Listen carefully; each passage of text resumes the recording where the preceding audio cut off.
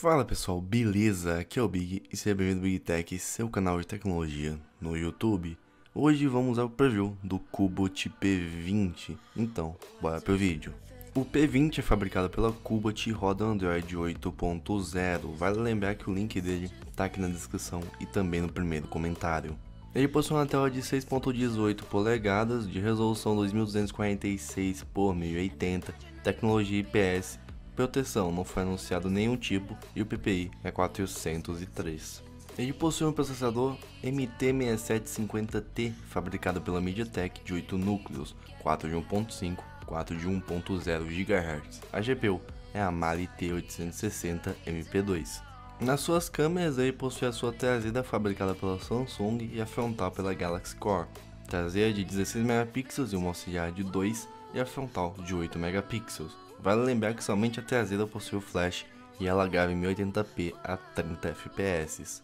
Ele possui 4 GB de RAM do tipo DDR3 numa frequência de 833 MHz, memória interna 64 GB, expansível até 128. Em sua conectividade, ele possui um sistema de baia híbrida, ou você coloca dois chips, ou você coloca um chip e um cartão SD. O Bluetooth é 4.0, o Wi-Fi é ABGN em 2.4 e 5 GHz, possui GPS e GPS GLONASS, 4G que funciona no Brasil e a entrada micro USB 2.0 para carga e transferência de dados. Na parte de sensores, ele possui sensor de proximidade, sensor de luz, acelerômetro e o biométrico.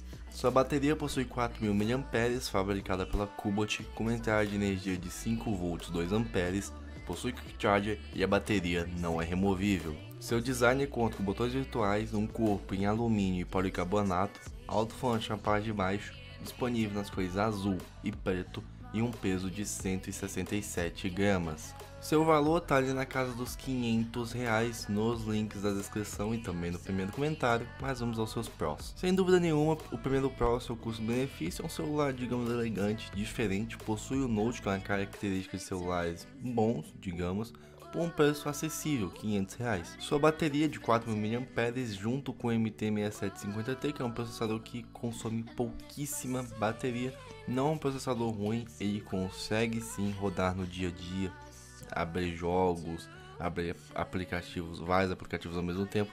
É um processador que não deixa a desejar e é econômico. Eu gosto muito dessa combinação de MT6750T com 4.000 mAh de bateria, costuma durar muito. E logo em seguida, seu próprio processador, o próximo Pro, é um processador forte, dá conta de rodar as coisas do dia a dia e dá conta de rodar jogos também. Ainda mais que esse modelo tem 4 GB de RAM e esse combo 4 GB de RAM com MT6750 é perfeito para rodar o Android durante o dia a dia sem que ele comece a travar. Outro detalhe interessante de ressaltar é sua câmera traseira, é uma Samsung S5K3P3, caso você queira procurar aí no Google, é um ótimo sensor, tem ali boas imagens para essa faixa de preço, eu fiquei impressionado de vir com essa Samsung. Vai te garantir boas fotos e filmagens com muito detalhe. E seu único contra, mas que a Kubot meio que já resolve, é que ele não tem proteção na tela, se isso é muito importante para você, aviso que ele não tem proteção na tela, pelo menos não divulgado, mas dificilmente a marca não divulgaria uma proteção Gorilla Glass ou Drag Trail. Mas o smartphone acompanha a capinha de proteção dentro da embalagem, então já diminui o risco de quebrar a tela numa possível queda. Mas responde aí, você compraria o Kubot P20? Responde aí no card ou nos comentários e vale lembrar que o link dele tá aqui na descrição do vídeo e também no primeiro comentário. Mas então foi isso, se você curtiu o preview do Kubot P20, deixa aquele like, se não é inscrito, se inscreve.